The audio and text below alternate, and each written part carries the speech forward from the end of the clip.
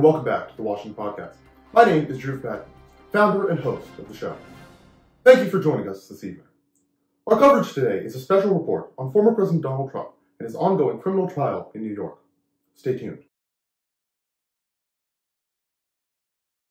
Last year, the Manhattan District Attorney filed charges against the former president regarding a hush money payment his associates had made on his behalf to adult film actress Stormy Daniels. Now, what too many people seem to be fixated on regarding this trial is the hush money payment itself. That really is not what this trial is about. Plenty of other prominent and non-prominent people, for that matter, have paid people off to keep them quiet. President Trump was not the first, and definitely won't be the last. So what is this trial about then? This trial is about how the Trump team, allegedly of course, falsified business records to cover up the fact that they paid her off, and also used the faked records to hide any paper trail of any affair at any point. In simple terms, this case is about fraud.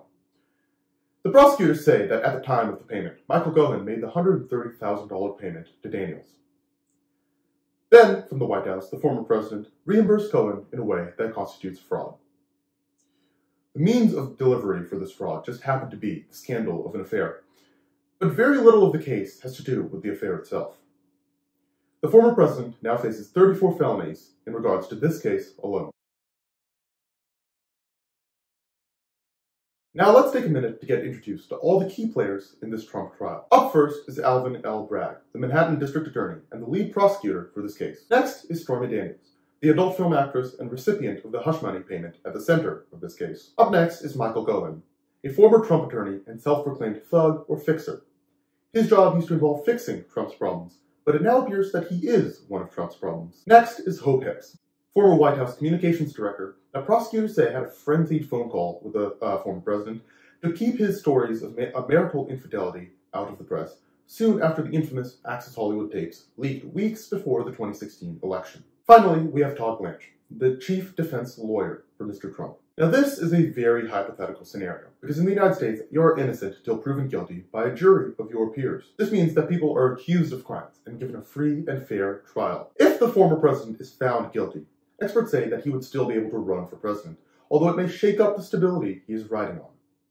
Stephen Saltzburg, a legal analyst and professor at George Washington University, said that people will hesitate before voting for a convicted felon. So this doesn't seem to change the uh, likelihood of his base abandoning him, and here's why. Since the first charges were filed, Trump has been extremely proactive in framing this as a man being politically targeted.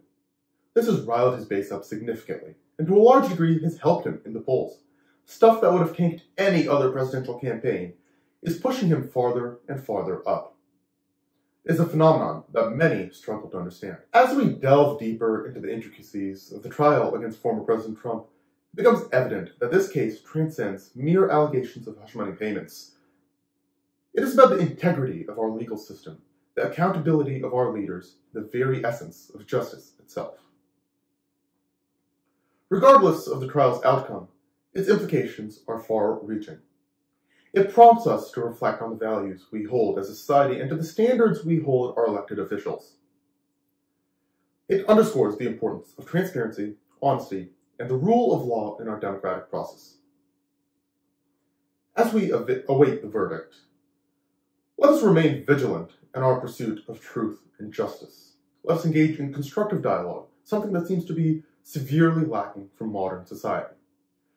Let us educate ourselves on the issues at hand and participate actively in shaping the future of our nation. Thank you for joining us on this journey of exploration and insight. Stay informed, stay engaged, and stay tuned for further updates on this consequential trial.